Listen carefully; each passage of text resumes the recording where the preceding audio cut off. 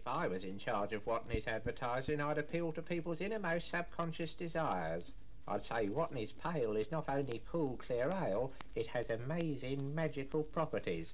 If you take a swig of Watney's Pale, you'll see lovely ladies in diaphanous nighties come into your room and dance about. And all the people will go out and buy Watney's Pale and say, I buy it because it's cool, clear ale, of course. But that wouldn't be the reason at all.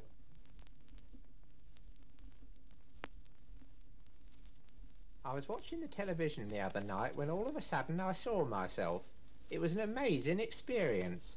I'd never been face to face with such a super salesman before. I was selling Watney's ales. Watney's pale is cool clear ale, I said, most compellingly. Watney's brown, drink it down. It was extremely compelling. I had to rush straight out and buy myself a beer. I must be worth a gold mine to Watney's.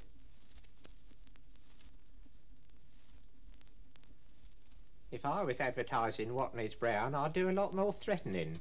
It's not enough to say just how nice Watney's Brown is. I'd be a lot more menacing. I would say that Watney's in their infinite wisdom have hired a gang of thugs and rowdies called the Watney Brown Men, and if they call on your house and you can't show them a bottle of Watney's Brown, they'll stamp on your glasses and take five pounds away from you. So watch out for the Watney Brown Men.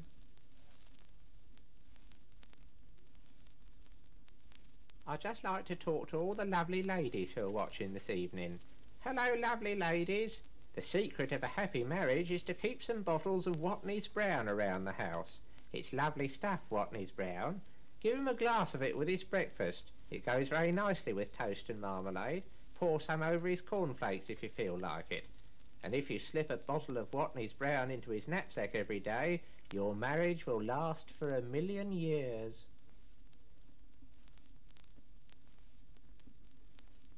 Good evening. In 1787, a certain Dr. Lettsom worked out exactly what happens to you when you drink different things. He said that if you drink a beer like Watney's Pale, you're blessed with health, wealth, and serenity of mind.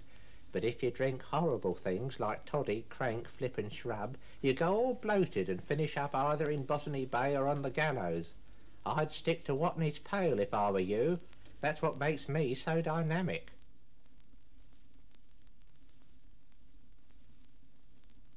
Don't think Watneys should be allowed to say what we want is Watneys. That we takes a lot for granted.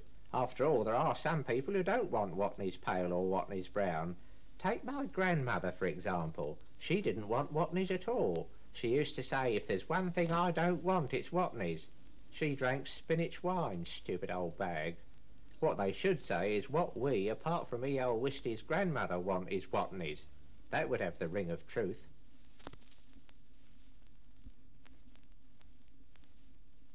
I had a visit yesterday from my friend Spotty Muldoon. He wanted to know if I could get him into a Watney TV advertisement. He said he didn't want to be the star, just an extra in the background, swigging down lots of Watney's Pale and Watney's Brown. Spotty said he was very good at swigging Watney's Pale and Watney's Brown, and would I mention his name? I said if I mentioned a name like Spotty Muldoon to Watney's, we'd both be out of a job.